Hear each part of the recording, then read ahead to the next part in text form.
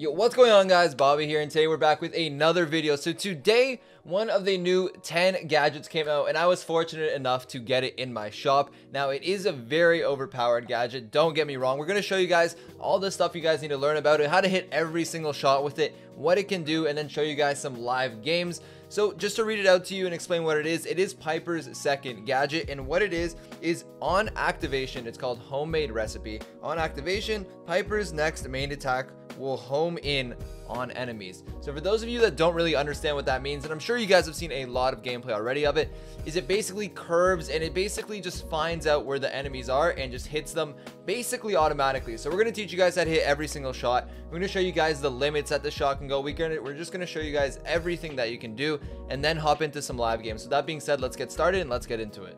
All right, so here we go. We're in a friendly room right now and we're going to be going up against, you know, just people that we know. We're going to be trying, this is the number one competitive Brawl Stars map when it comes to bounty. And what Pipers do is it's always Piper mid and they hide in the corner. So we're going to see what we can do against Jig. So can we kill him if we're standing here?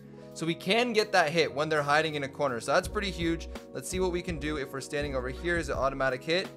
Okay, it's not going to be an automatic hit over there. But if we come from this side, let's see what happens. Gonna go for the shot it will curve and kill him. So that's actually really crazy to see that it's actually going to be able to curve and get that kill because that is game changing when it comes to competitive bounty. That's going to be huge. The fact that you can just shoot and hit those shots, it's going to be absolutely insane that you can do that. So we're going to show you guys one more in Snake Prairie. So let's hop into Snake and let's get things going for you guys. All right, so here we go into Snake. Now, I think this is pretty crazy because it's this is kind of broken. So you can literally click your gadget button, walk up and literally just fire into the grass. And you guys see I got that hit on Jigsaw. He's in the middle. You know you got the hit even when you don't see him as your super button or your I guess your shot button, whatever it is, your charge will grow. And again, I'm just going to shoot in the middle. And again, it's going to find him no matter what. You guys see I'm missing shots over here.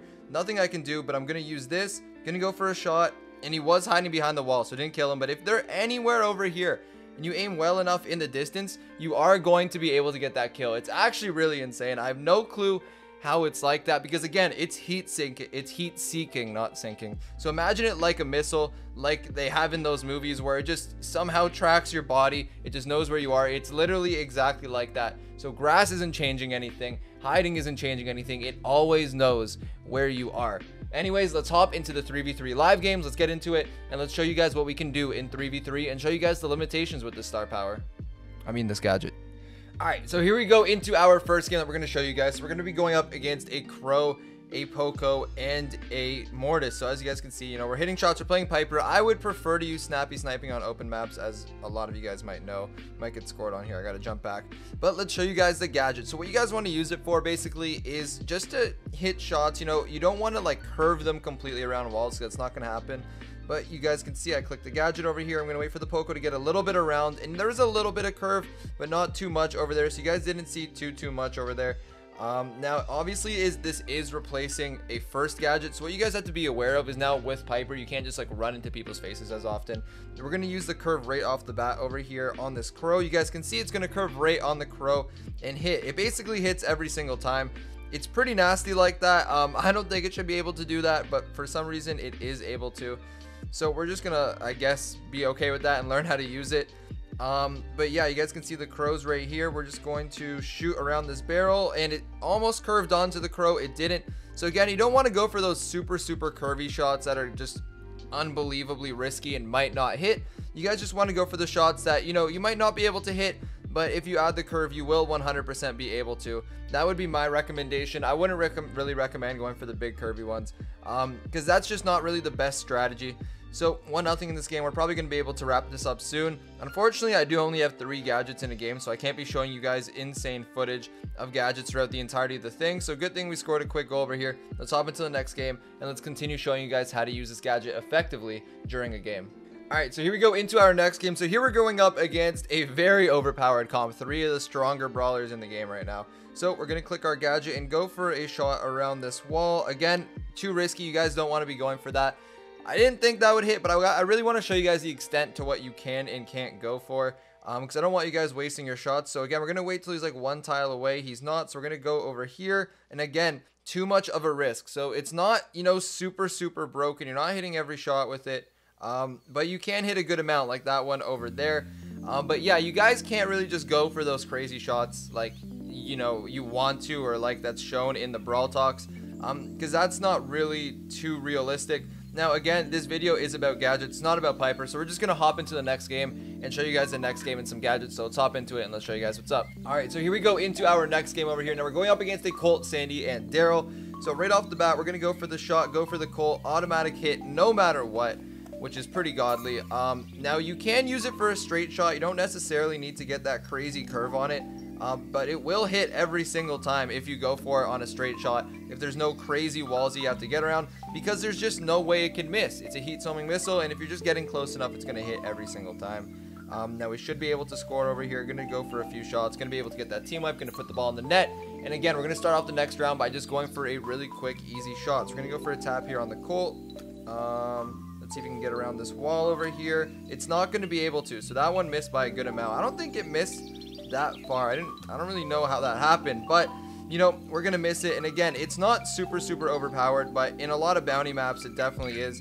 So I'm pretty eager to try it out in actual bounty 3v3 or even in competitive bounty. I'm really eager to try it out because it should be really, really hard to stop and it should be really good to use. So again, let's hop into the next game. Let's keep it going. Let's show you guys our limitations what you guys can do and can't do in 3v3. All right, so here we go into our last Brawl Ball game. Now we're going to be going up against Frank, Leon, and Mr. P. So we're going to try and hit a Mr. P right off the bat. He's going to go the other way, which is fine.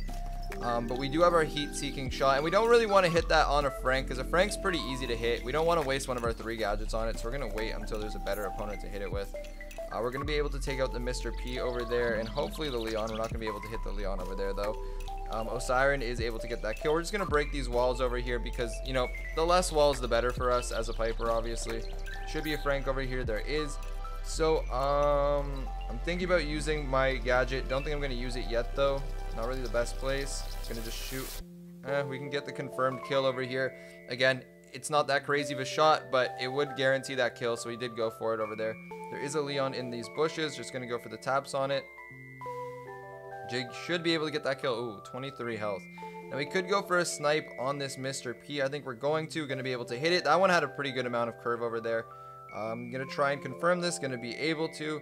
And so far it's looking really good. Jigsaw does have super. Now Mr. P is super annoying though. Especially against Piper. With the star power that it's using. So this isn't going to be really the most fun game in the world for us. But, you know, we got to do it. Whatever. Um, got to take out this Mr. P penguin over here taking three shots to do so. It's so annoying to take those out, and as soon as you do, just another one spawns.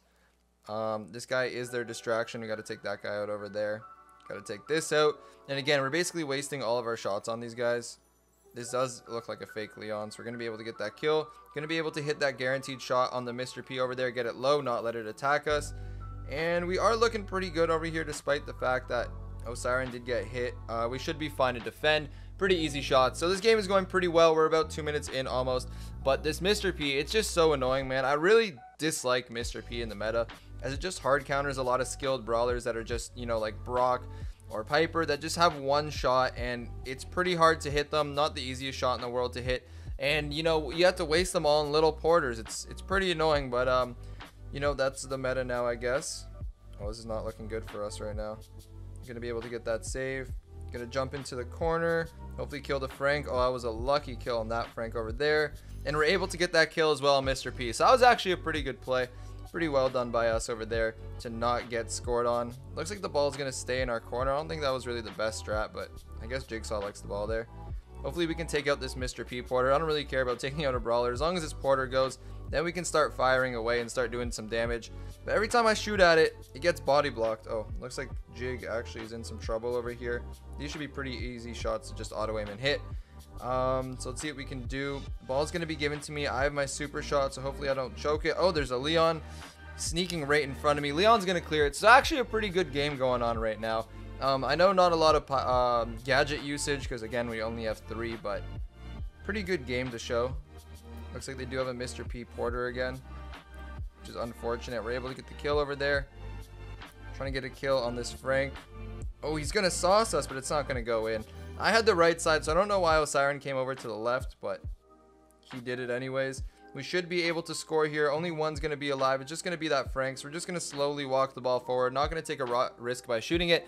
And we're going to win that game. So that was our last Brawl Ball game, but not our last 3v3 game. We're going to hop into a Hot Zone game right now and try and see how good this is in Hot Zone. So let's hop into it and let's show you guys what's up. All right, so here we go into our Hot Zone game. It's going to be a double Hot Zone map. So we're going to be going up against Gale, Surge, or not Surge, Gale, Tara, and something. I think I said literally in the last video I'm never going to play this mode again. And here I am playing it again on video. Kind of funny. Uh, but we're gonna go down straight away. So we have the spawn, we have this the ring closest to their spawn, and they have the one closest to our spawn. Let's see if we can hit a crazy shot.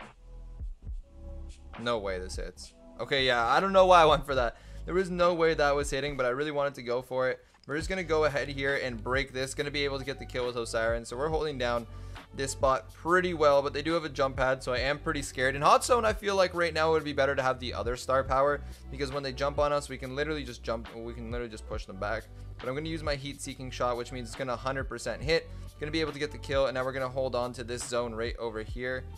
Um, getting pushed back by that Sandy, going to be able to get the kill, but again, we're probably going to get jumped on.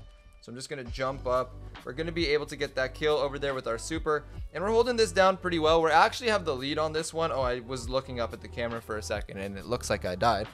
But we're actually doing pretty well at holding this. It looks like they've captured that far hot zone. So they're only going to be going for this one. So that's kind of scary. Jig, I think, has got to go for the pull. He's going to. We're going to be able to get that kill. It looks like we got to get this kill as well. So we're going to use the missile shot just to make sure we get that guaranteed kill. Now we're holding down on this pretty well. We're actually gaining a lead right now. Going to jump up. We have the lead. Almost completed this hot zone. And we got to defend it though. Oh, Osiren's on the other one, and there we go. We're able to get that comeback win, and we're going to win this game 100 to 93. So that's going to be it for the 3v3 games, and that's going to be it for the video. So I hope you guys did enjoy. Now, if I were to give this gadget an overall rating, I'd probably give it an 8 out of 10 because it is pretty broken in bounty. It is pretty broken to hit any single shot that you want to hit 100% of the time as long as you're aiming it correctly but at the same time, it's not game breaking as a lot of us thought it would be. So hopefully we don't see many clickbait titles on YouTube of, of YouTubers trying to clickbait us. But anyways, that's going to be it. I hope you guys enjoyed today's video, and I will catch you guys again tomorrow. Peace.